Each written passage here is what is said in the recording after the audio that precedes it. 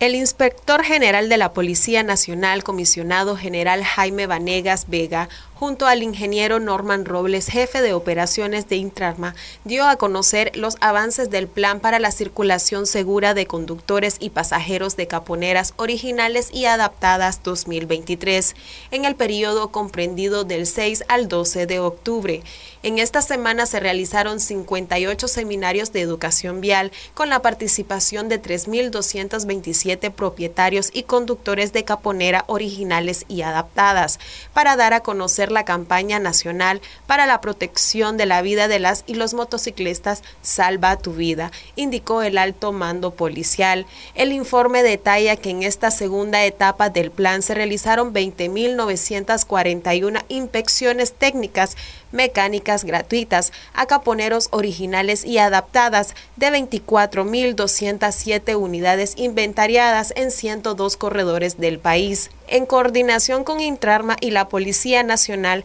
realizaron supervisiones operativas en las vías principales de Managua donde opera el transporte urbano colectivo para garantizar la seguridad de los usuarios, también los corredores, es decir, los lugares donde prestan servicio las caponeras, agregó el inspector general.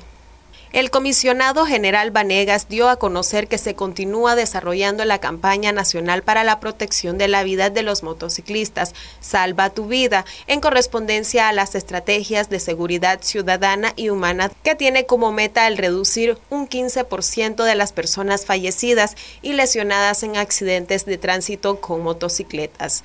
Nora González, Noticias 12.